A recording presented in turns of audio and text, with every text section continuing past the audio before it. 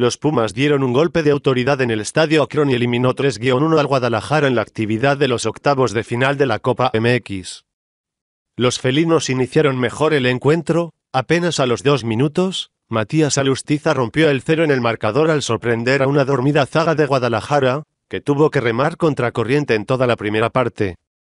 Las Chivas igualaron por conducto de Alan Pulido al 11 cuando el delantero rientó de cabeza para perforar la meta del pollo Saldívar.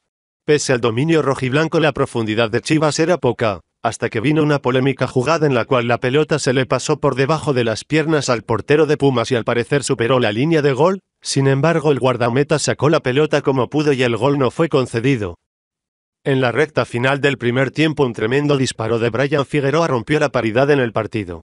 El jugador de Pumas se perfiló para mandar a guardar la pelota al ángulo superior derecho y dar la ventaja antes del descanso.